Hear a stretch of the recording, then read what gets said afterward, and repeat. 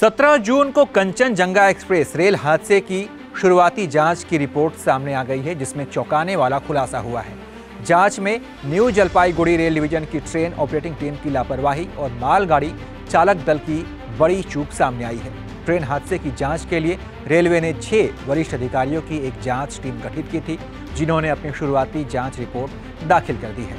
जाँच दल ने माना है कि मालगाड़ी के ड्राइवर ने गति प्रतिबंध का उल्लंघन किया है, साथ ही सिग्नल की भी अनदेखी की गई है। अधिकारियों का मानना है कि मालगाड़ी द्वारा कंचनजंगा एक्सप्रेस को पीछे से टक्कर मारने की घटना मालगाड़ी चालक दल द्वारा ऑटोमेटिक सिग्नल की अनदेखी और ट्रेन के गति ज़्यादा होने की वजह से ये हादसा हुआ है। जाँच में पता चला है कि उस दिन सुबह पाँच बजकर पचास मिनट से ही सिग्नल प्रणाली में खराबी आ गई थी, लेकिन पूर्वोत्तर सीमांत रेलवे यानी कि एनएफआर के अधिकारियों को इसकी कोई आधिकारिक सूचना नहीं मिली। इसके कारण दुर्घटना स्थल पर मैनुअल रूप से ट्रेनों का, को चलाने की व्यवस्था करनी पड़ी।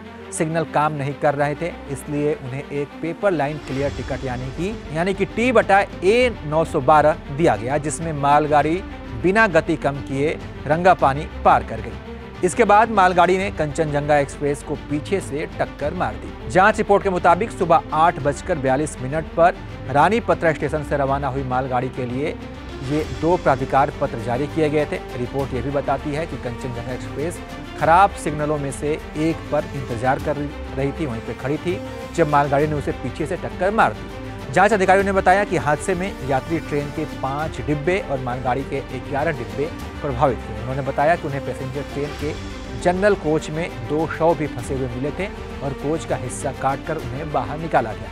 जाँच रिपोर्ट में इस बात का ज़िक्र नहीं किया गया कि हादसे के दौरान मालगाड़ी कितनी स्पीड से चल रही थी। अब रेलवे सुरक्षा आयुक्त विस्तृत जाँच कर रही है।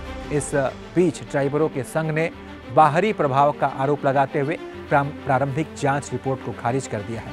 बता दें कि मालगाड़ी के लोको पायलट के हादसे में जान जा चुकी है। वहीं लोको पायलट के जो परिजन हैं, जो परिवारजन हैं, उन्होंने भी न्याय की मांग की है, न्याय की गुहार लगाई है।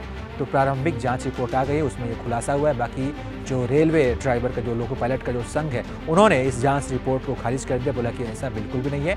बाहरी दबाव में ऐसा रिपोर्ट तैयार किया गया बाकी इस पर आप क्या सोचते हैं, अपनी राय बताइए और देखते रहिए। ABP live.